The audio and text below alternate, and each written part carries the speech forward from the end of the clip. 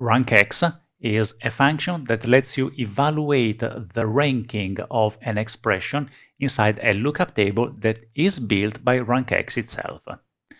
You need to provide RankX first, the table that you want to iterate, and then an expression that is evaluated during the iteration in order to build the lookup table. RankX will then evaluate the same expression again in the filter context where it was called in order to compute a value.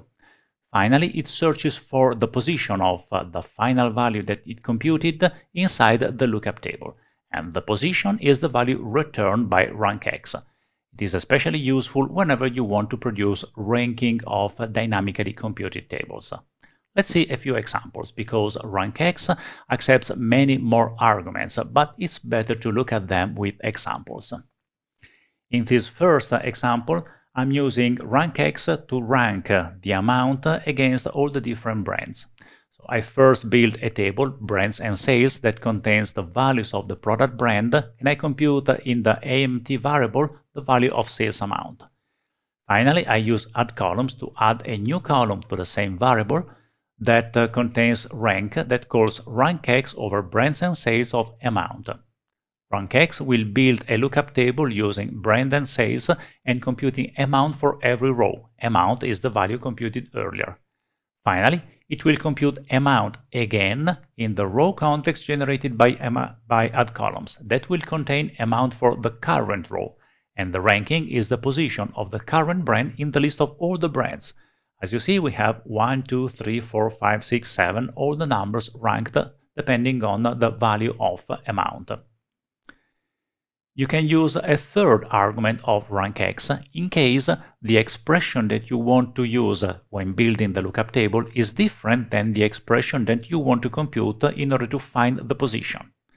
For example, here instead of uh, ranking a table against itself, I have a sales levels table that contains values, 6, 6 million, 3 million, and so on, and uh, contains a column limit.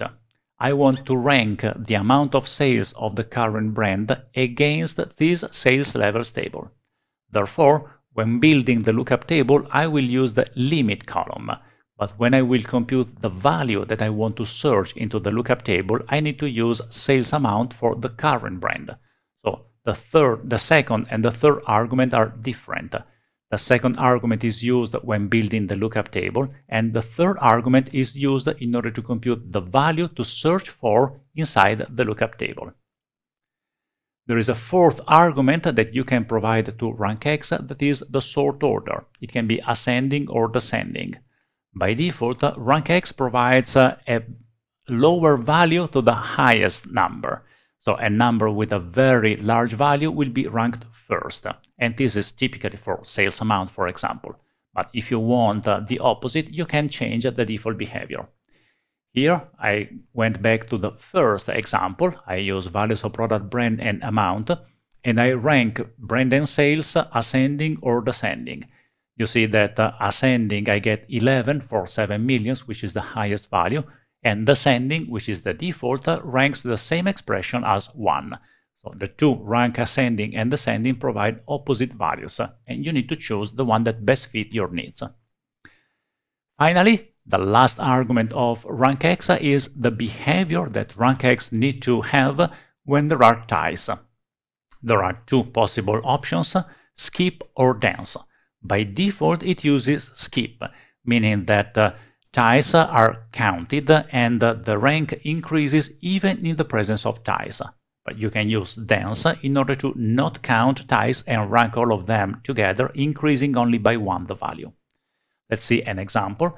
In order to introduce ties inside my calculation, instead of using just sales amount, here I'm using MROUND of sales amount in order to round the value to the nearest million.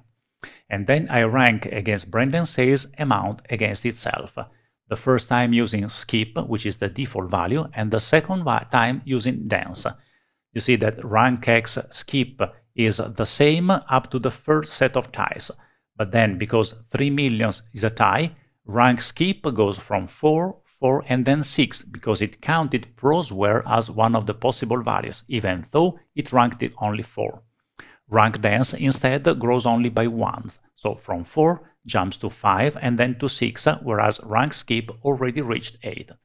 So the order of the values returned by both rank x calculations is the same, but the values are different, and you need to use the one that best fit your requirements.